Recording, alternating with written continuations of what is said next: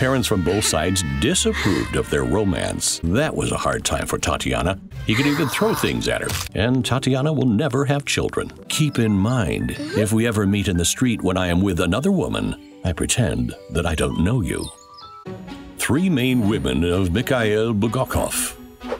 My friend Mikhail Bulgakov was carried away by various interest points, such as writing, medicine, morphine, and uh, women, of course. The master's first spouse and first love saved him from drug addiction. The second one provided a smooth entering into the bohemian theatrical life. And the third one became his main muse. The first love and an eternal savior, Tatiana Lappa.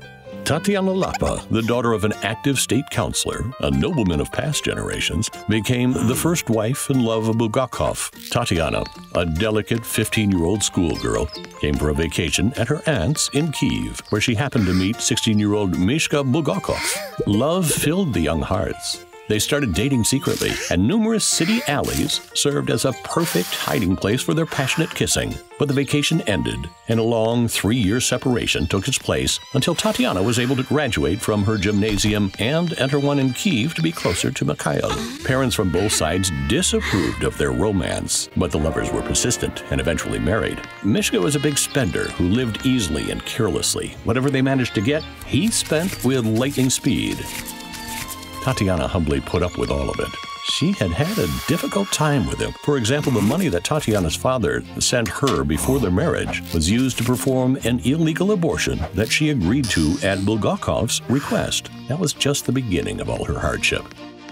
Having studied to be a doctor, Bulgakov worked as a surgeon in the front line zone in 1916. Later, he was assigned to work as a Zemsky doctor in the Smolensk province, a doctor living and serving to one specific village. Tatiana, being his loyal wife, followed him everywhere. Bulgakov wrote A Young Doctor's Notebook based on his personal and medical experience during this period. After performing an operation, Mikhail was afraid to get diphtheria and took an anti diphtheria drug that caused a terrible allergy. Mikhail began morphine injections to relieve his pain and eventually got addicted. That was a hard time for Tatiana. The craving for a new dose made Mikhail aggressive and despotic. In a fit, he could even throw things at her, anything that came into his hand.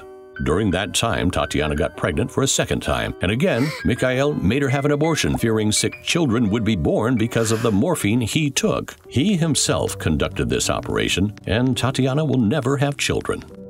Tatiana started diluting morphine with distilled water to save her husband from the addiction. And in the end, it worked. Mikhail experienced a creative spree and started working on the White Guard.